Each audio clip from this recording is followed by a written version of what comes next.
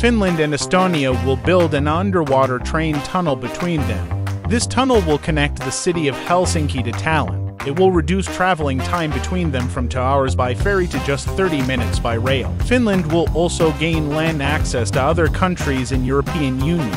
The tunnel will be at least 50 kilometers long and cost $15 billion. The Helsinki Tallinn tunnel will be open to the public before 2030. What do you think about it?